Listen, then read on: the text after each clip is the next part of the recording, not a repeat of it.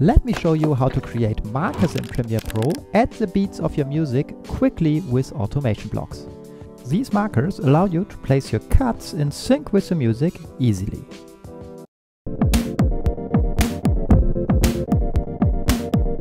But before we start, I have to tell you that Automation Blocks is not the best tool for this job.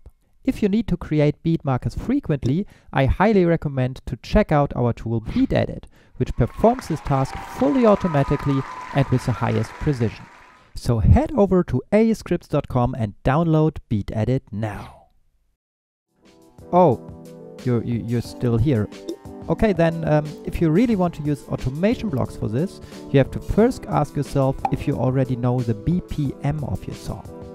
When you buy stock music, for example, the BPM or beats per minute are sometimes listed on the product page. If you know the BPM, choose the tool Beat Marker Create from BPM. Then enter the BPM here and set the in and out point of the sequence to the area for which you want to create beat markers. Finally, place the playhead exactly on a beat.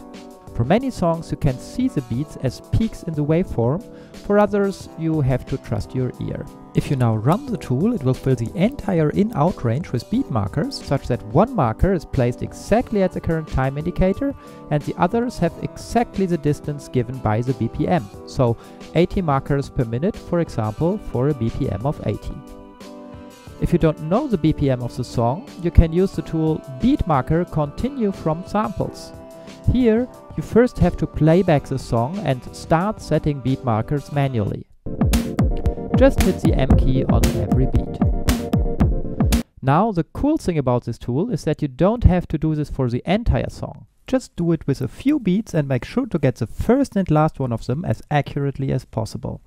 Now run the tool and it will fill the entire in-out range with evenly spaced markers based on your samples. The location of your sample markers will also be updated such that they all have exactly the same distance. After creating the markers, you might also want to give them meaningful colors with the tools in the section Marker Color, which we explain in a separate tutorial.